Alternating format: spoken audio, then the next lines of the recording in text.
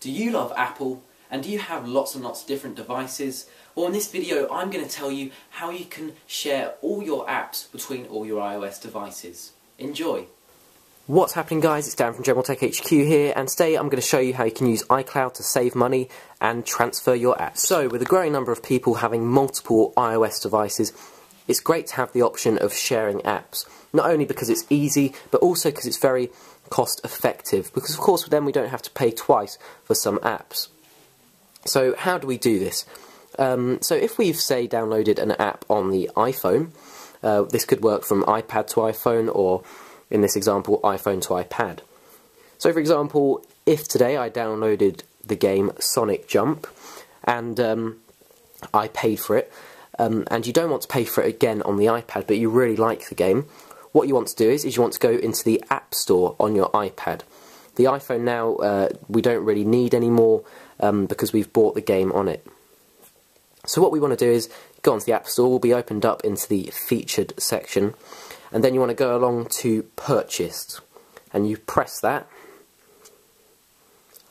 and then this will load up all the apps purchased on your Apple ID. This is why it's really important to have the same Apple ID on each device. This uses iCloud. So here you can see uh, all our purchased items.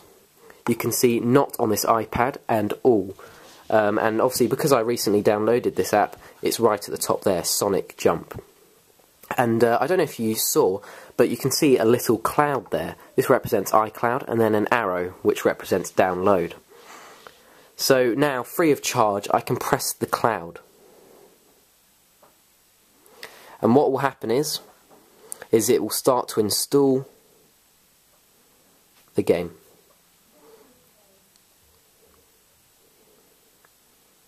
And there we go. It's starting to download the game there.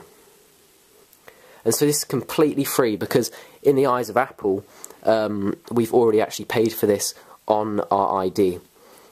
And as long as you have the same Apple ID on each device, um, you can download it as many times as you want. So this is really, really good. So you can see there just on the bar that it is actually downloading. You can see. So it's really, really good. And as I say, say if I, um, when I first got the iPad, uh, I downloaded FIFA, which is quite an expensive game at £4, and other games. And when I got the iPhone 5, I just um, used iCloud to put them all on here, free of charge. It's really, really good.